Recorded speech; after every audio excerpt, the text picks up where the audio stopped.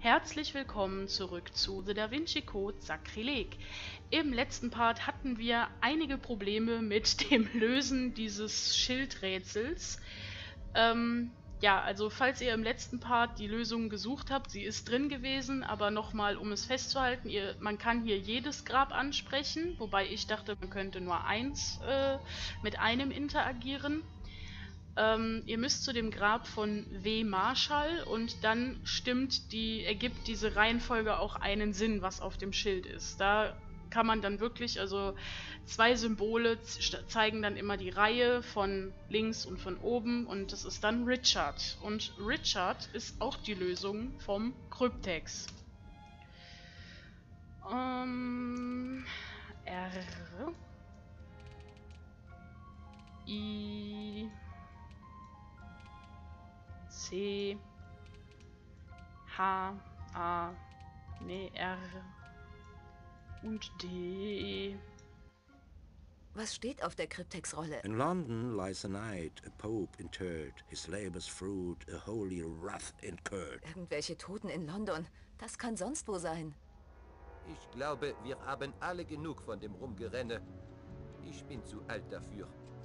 Geben Sie mir das Kryptex und Sie sind aus der Sache raus. Ach wirklich, wie der Museumsdirektor. Sie können nirgendwo hin, Dr. Langdon. Nach Ihnen wird gefahndet. Machen Sie es sich und unsere reizenden Mademoiselle Neveu nicht so schwer. Ihre Anteilnahme rührt mich, Remy. Aber ich fürchte, wir müssen ablehnen. Ich fürchte, das gehört mir. Egal, wie Sie das sehen. Oh! Silas, dein Auftritt! Gottes Hände greifen nach euch. Sophie, weg hier! Schneller, sonst schaffen Sie es nicht. Oh nein! Seht her! Gott ist auf meiner Seite. Ihr Schicksal ist besiegelt. Ähm, ähm, ähm, ähm, ähm, ähm. Mach, mach, mach. Was auch immer ich da machen muss. Ja, ja, ja. Äh, D und Dings, scheiße. Mach. Oh Gott, aber immerhin läuft er langsam. Nur die Kamera ist falsch rum. Wo ist der Scheiß? Oh Gott, oh Gott, ich bin gerade total... Oh, erstmal ruhig. Also jetzt, jetzt wird er uns ja wohl gerade nicht abknallen können. Ich muss erstmal an der Zigarette ziehen. Ey, das Spiel, das macht einen so Aus der fertig. Hand Gottes gibt es kein Entkommen.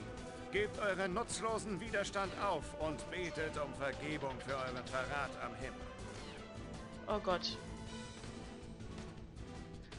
Ähm. Nein, also das macht die beiden das an. Ende steht bevor. Es gibt kein Entrinnen. Boah, der kommt ja tatsächlich näher. An. Oh, fuck it. Der kommt ja währenddessen tatsächlich näher. Alter, ihr spinnt doch. Ey.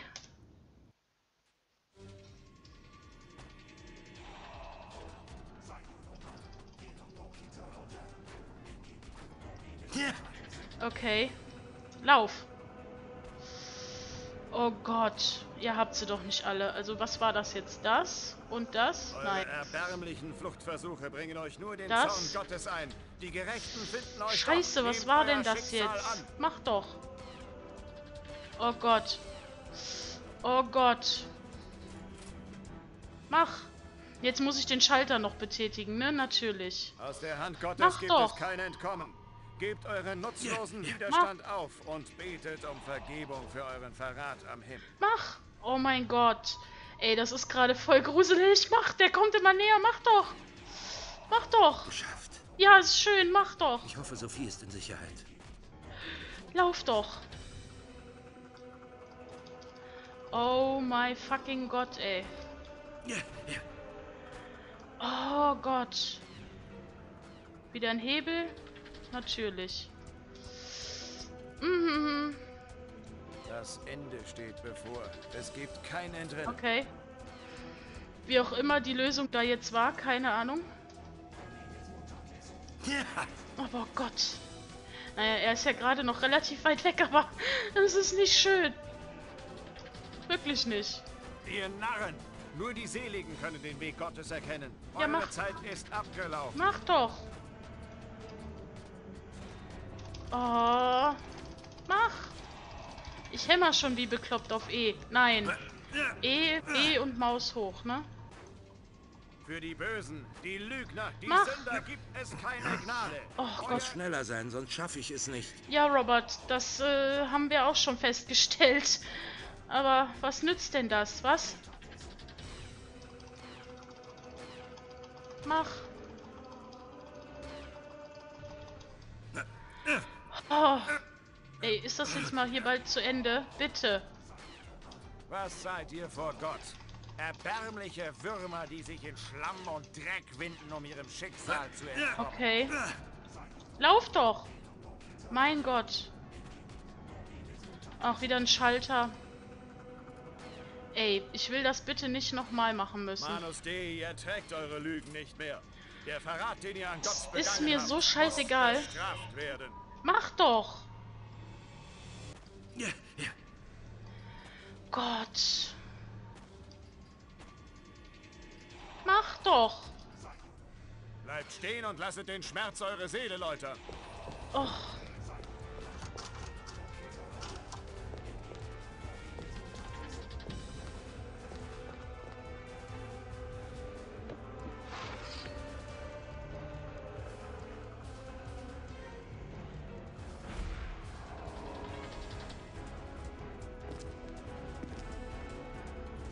Unser kleines Spiel ist zu Ende.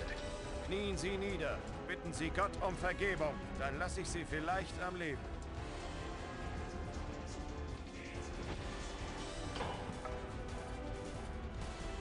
Erbärmlicher Versuch. Haben Sie wirklich gedacht, Sie könnten verhindern? Ja. Wer ist hier erbärmlich? Dreckiger Mörder. Alle Söldner melden sich in der Westminster Abbey. Befehl von Remy. Sie haben Teabing offenbar in der Westminster. Gehen wir. Oh mein Gott, es ist vorbei. Die Mission ist vorbei. Wie viel äh, Zeit haben wir noch? Denn, ja, wir hätten noch acht Minuten. Und das Tolle ist, jetzt die nächste Mission anzufangen. Dann wisst ihr, was das heißt. Dann darf ich nämlich äh, das dann nochmal machen, weil ich die nächste Mission jetzt nicht in einem Rutsch durchspielen möchte. Oh, was mache ich denn jetzt? Ähm, ja, auf jeden Fall haben wir alle drei Geheimnisse gefunden, ein neues Rätsel und eine neue Grafik freigeschaltet. Ähm, ja komm, machen wir erstmal weiter. Vielleicht kommt ja noch eine etwas längere Cutscene. Ach ja, wir dürfen ja erstmal wieder speichern. Äh, mach mal da. Ja, bitte.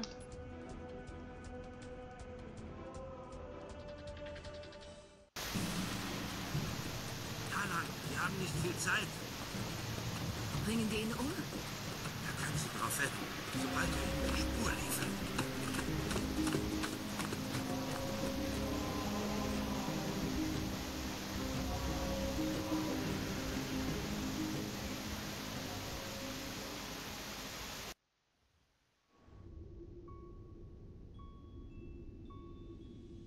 Da ist Remy.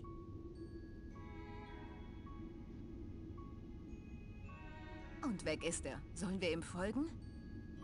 Lieber nicht, er ist jetzt im Vorteil. Wir brauchen ein Druckmittel.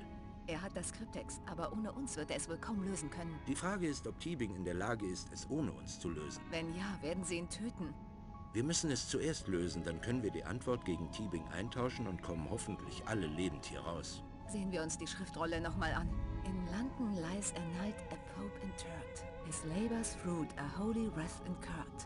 Sir Isaac Newtons Begräbnisfeier, dem der Adel beiwohnte, wurde von Alexander Pope geleitet, einem Freund und Weggefährten. Er hielt eine bewegende Ansprache und streute eine Handvoll Erde auf den Sarg. Alexander Pope? Ey, Pope, das ist perfekt. Newton ist unser Ritter. Ah, schade, die Cutscenes waren jetzt doch nicht so lang, wie ich dachte. Wir haben immer noch sechs Minuten. Das heißt, der Part wäre jetzt nur neun Minuten lang. Das ist dann ein bisschen zu kurz. Vielleicht haben wir ja noch was zu lesen, um die Zeit zu füllen. Dann müssen wir das beim nächsten Mal nicht machen. Ähm, steht hier irgendwas Neues oder so? Menschen? Aha. Alexander Pope. Alexander Pope, 22. Mai 1688 bis 30. Mai 1744, wird als einer der größten Poeten aller Zeit gefeiert. Er war ein begnadeter Satiriker, dessen Provokationen aber stets der Besserung der Menschheit dienen sollten. Seine Spezialität war das sogenannte heroische Couplet. Er trieb diese Form der Dichtkunst in solche Höhen, dass nach ihm niemand mehr in seine Fußstapfen zu treten vermochte. Er besaß die fast übernatürliche Gabe, schwer soziale Probleme des alltäglichen Lebens anzuprangern und in einer Weise darzustellen, die beim Leser Aufmerksamkeit erregte, ohne deswegen weniger unterhaltsam oder humorvoll zu sein. Aufgrund des großen kommerziellen Erfolgs seiner Arbeiten war Pope der erste englische Poet, der alleine von den Verkäufen seines Werkes leben konnte, wodurch er von sich sagen konnte, ich bin keines lebenden Prinzen oder Peers Schuldner. Aha, das ist jetzt auch voll interessant, dass der von seinem Zeug da leben konnte. Jetzt haben wir bestimmt noch was über die Westminster Abbey. Wäre zumindest zu erwarten, genau. Westminster Abbey, England. Die Stiftskirche von St. Peter oder Westminster Abbey ist eine große gotische Kathedrale in London. Nördlich des Westminster Palace gelegen ist sie seit William I. Schauplatz der Krönung der britischen Könige und zudem der Bestattungsort von 18 britischen Monarchen sowie berühmter Persönlichkeiten wie zum Beispiel Browning, was? Cossier und Tennyson. Hier wurden lesen, ne? Hier wurden auch das erste Drittel des Alten Testaments der Bibel von King James und die letzte Hälfte des Neuen Testaments übersetzt. Bevor es das Parlamentsgebäude gab, gab, trafen sich der Große Königliche Rat und die Bürgerlichen im Domkapitel am östlichen Kreuzgang. Der Landstrich hieß früher Throny Island und hat eine lange Geschichte, die mit der Errichtung eines Schreins im Jahre 6, 6, 616 und eine Benedikterabtei 960 beginnt. Der erste größere Bau entstand. Sorry, ich muss gerade die ganze Zeit lachen, weil ich dieses 616 nicht lesen konnte. erstmal wieder runterkommen hier. Der erste größere Bau entstand, als Edward der Bekenner hier eine romanische Kirche. Entschuldigung, Kirche für die Benedikter errichtete, nachdem der Papst von Edward den Bau einer Abtei für Ach Gott, das, kennt ihr das, wenn ihr lachen müsst und nicht mehr aufhören könnt zu lachen? Ah, dann, dann muss man sich, also das klingt jetzt komisch, aber dann muss man sich selber kurz irgendwie wehtun. Ich werde mir jetzt kurz mal leicht auf den Daumen beißen. Ah, mal gucken, ob das geholfen hat. Nachdem der Papst von Edward den Bau einer Abtei verlangt hatte, um das von diesem nicht, nein, es hat nicht geholfen, um das von diesem nicht gehaltene Gelübde einer Pilgerreise zu sühnen. Im 13. Jahrhundert ersetzt ersetzte Heinrich III. Edwards Abtei durch eine massive gotische Kirche, die von Henry de Rennes entworfen und fünf Jahrhunderte später vom, vom Architekten Henry vollendet wurde. Der Ausspruch Peter berauben, um Paul zu bezahlen, stammt daher, dass das Geld, das für den Bau der Abtei zu Ehren von Petrus bestimmt war, dazu benutzt wurde, um die St. Pauls Kathedrale instand zu setzen. Ihre große historische und symbolische Bedeutung rettete die Kirche vor der Zerstörung in der Zeit der Auflösung. Scheiße, da kommt schon wieder ein Datum.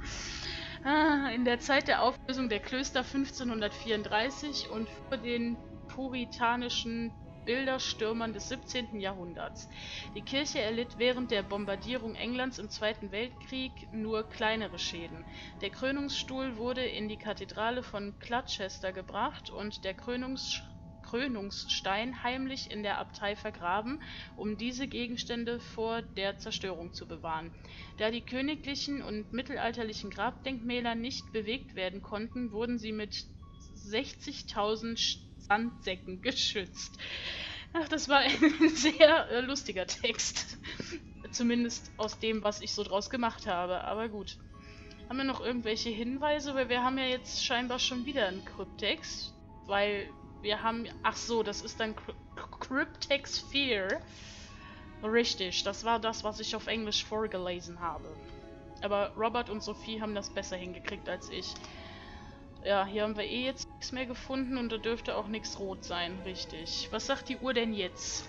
Ich möchte hier echt nicht rum... Ja, okay, 23... Wow, noch 23 Sekunden, das ist klasse. Das heißt, ähm, im nächsten Part können wir ganz gechillt durchstarten hier in der Westminster Abbey, weil wir die Informationen schon gelesen haben. Und ich kann jetzt erstmal aufhören. Weil, wie gesagt, das letzte Kapitel war jetzt komplett an einem Stück. Ne? Und äh, ich bin jetzt erstmal fertig. Wir sehen uns im nächsten Part.